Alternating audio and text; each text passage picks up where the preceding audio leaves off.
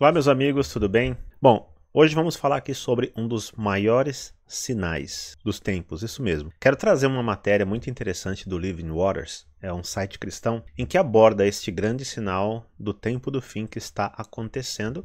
E neste ano nós veremos é, ele cada vez mais. Já vou te explicar. Mas antes eu queria que você respondesse aqui nos comentários se esse tipo de assunto é interessante para você ainda aqui no canal. Renato traz mais assuntos aí sobre os sinais, as profecias, etc. Eu quero saber como que vocês estão recebendo aí esses assuntos, tá bom? Então deixa um like para eu saber que vocês estão gostando e deixa um comentário. Se não é inscrito, se inscreva, tudo bem? Vamos lá? Sem muitas delongas, ó. O que está acontecendo?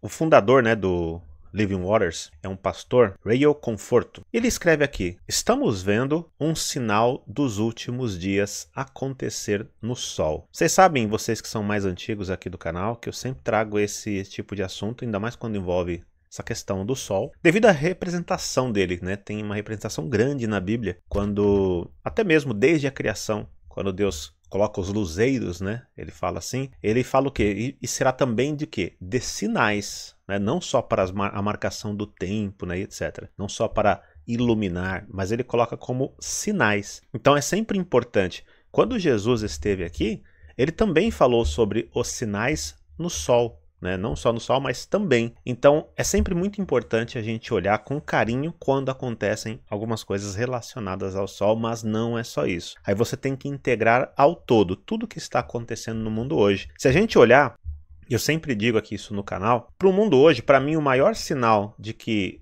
somos a geração final é o comportamento da sociedade como está. Tudo está de ponta cabeça, tudo inverso, tudo se inverteu, é ou não é? Então hoje você guardar o que é correto, você é entre aspas, né, errado perante a sociedade atual. Então, esse para mim é um dos maiores sinais. Mas o que, que ele diz aqui, eu acho até muito curioso como ele começa o texto. Ó. Se você quiser dividir qualquer igreja ao meio, fale abertamente sobre sua interpretação pessoal da profecia bíblica. Isso acontece aqui também no canal, né? Cada um tem uma visão, né? Mas é bom quando a gente discute de forma sabi, sa, é, sadia com sabedoria, né? Mas apesar das muitas controvérsias sobre o que deve acontecer, quando há uma série de sinais do fim dos tempos que estão se tornando cada vez mais evidentes. Um deles é muito específico.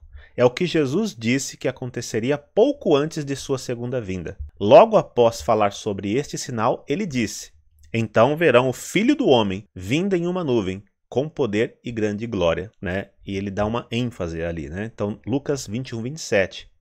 Ele vem com as nuvens, poder e grande glória, e será visto por todas as pessoas. Né? Ele coloca aqui, ó, eis que vem com as nuvens, e todo olho o verá. Apocalipse 1,7. Este sinal em particular que Jesus disse que apareceria pouco antes de sua vinda, teria sido um mistério para os estudiosos da Bíblia nos séculos passados, mas agora faz sentido por causa do progresso da ciência. Ouça as escrituras, né? Lucas 21, 25. E haverá sinais no sol. Isso é muito importante. Está lá em Lucas. Então, como pode haver sinais no Sol? Um artigo científico no Vox.com intitulado Os polos do Sol estão prestes a virar é incrível e um pouco assustador, diz ele. Explica este ciclo do Sol. O que, que ele explica? Que nós já falamos até aqui no canal algumas vezes. Só antes aqui, gente, no final desse vídeo eu quero te dar um recado que eu venho falando para vocês sobre a oportunidade. Vocês viram o dólar como disparou, né? Oportunidade de você trabalhar direto da sua casa, pelo seu computador, pelo seu notebook, tá bom? E ganhar em dólar também. Então essa oportunidade vou falar mais para vocês no fim do vídeo. A cada 11 anos, aproximadamente, o Sol passa por uma transformação épica. Seus polos magnéticos se invertem. Os polos do Sol se, invertem, se inverteram pela última vez em 2013. Então, estamos quase na hora. Provavelmente começando em algum momento deste ano. Então, neste ano, né, já foi avisado, começou a ser avisado desde o ano passado, que nós veríamos grandes tormentas no Sol, vamos dizer assim, né? várias explosões solares, o que de fato aconteceu né, até G5 o próprio Elon Musk fez várias, vários posts na rede X sobre esse assunto e nós estamos vendo que essa atividade solar ela está cada vez mais forte mais intensa, vamos dizer assim, né, com mais vezes e atormentando as comunicações da Terra, como, por exemplo, é, satélites, né, a rede de comunicação e etc. Bom, eis porque o escritor descreve isso como um pouco assustador. Preste atenção agora. De particular preocupação, preocupação são as ejeções de massa coronal. Essas são explosões que arremessam matéria carregada como tiros de espingarda pelo sistema solar.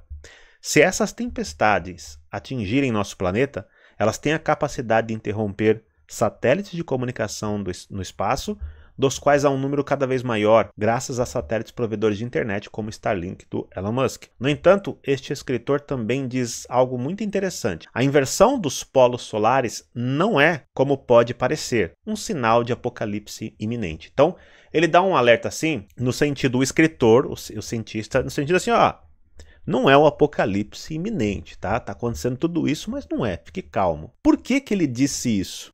Porque ele suspeita que veremos que os sinais no sol são apenas um dos muitos sinais inegáveis que estamos vendo sendo cumpridos diante dos nossos olhos. Estes sinais incluem também o que? Além deste no sol, que o cientista tenta tirar e falar: não, veja bem, não se preocupe com isso. Mas é o que eu falei no início do vídeo: nós temos que conectar com as outras coisas que estão acontecendo. O que mais está acontecendo? Ele chama atenção, por exemplo, para ilegalidade. Eu vou, eu vou colocar até isso na questão da ilegalidade, a, a corrupção da justiça em nível global. Vocês estão percebendo? Né? Então, a ilegalidade em vários sentidos. Guerras e rumores de guerras, nação levantando contra nação, você pega agora, por exemplo, o, o próprio Kim Jong-un já prometeu que vai enviar soldados para estar ao lado da Rússia lutando contra a Ucrânia. Então, olha a coisa como vai tomando cada vez mais rumos perigosos.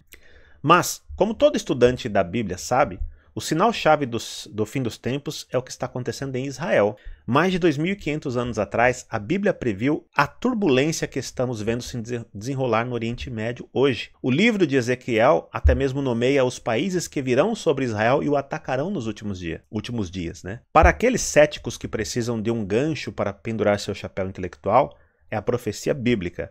É uma evidência inegável de que Deus conhece o futuro que a Bíblia é sua palavra, portanto, a promessa de vida eterna na Escritura é digna de uma segunda olhada.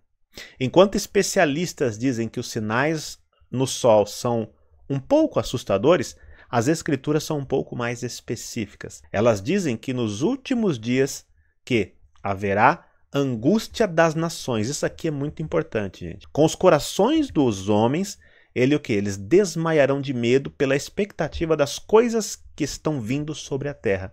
Lucas 21, 25, 26.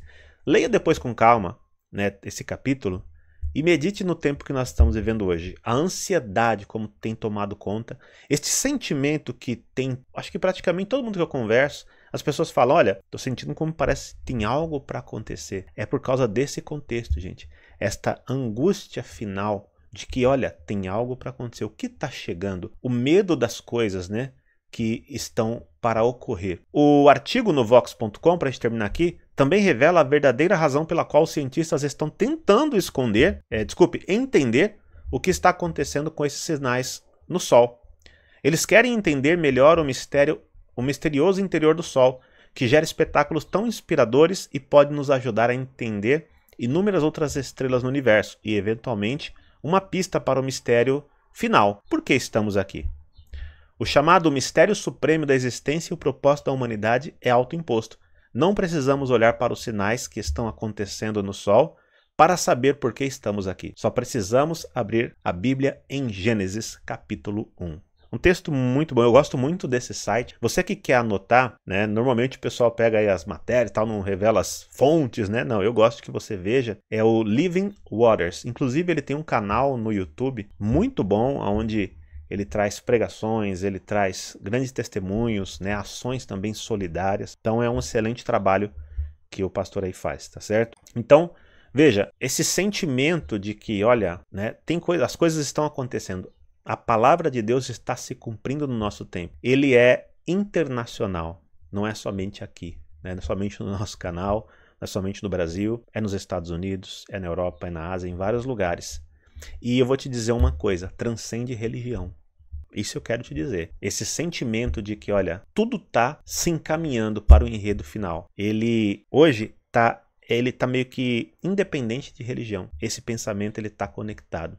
Por exemplo, se você for no cristianismo, como foi a fonte que eu usei aqui, tá esse sentimento. Se você for no judaísmo, a mesma coisa. Então os grandes sinais estão acontecendo e quem está atento está percebendo. Né? Vigiai. É isso que, que, que está também escrito na Bíblia, né? Para que, que não sejamos pegos de surpresa. Tá certo? Mas deixa a sua opinião aqui nos comentários, se inscreve no canal, ativa as notificações. E para todos vocês, né, vocês estão vendo, né, o nosso Brasil, tantos problemas econômicos e agora a coisa está se aprofundando cada vez mais. Esperto é aquele que está se antecipando e tomando cada vez mais as rédeas da própria vida e buscando a liberdade financeira. Como você pode fazer isso? Hoje você ainda dá tempo de você fazer a internet trabalhar ao seu favor, que é o que eu faço. Então, o que eu aprendi, eu quero te ensinar. Como é que você pode se livrar dessas amarras desse sistema?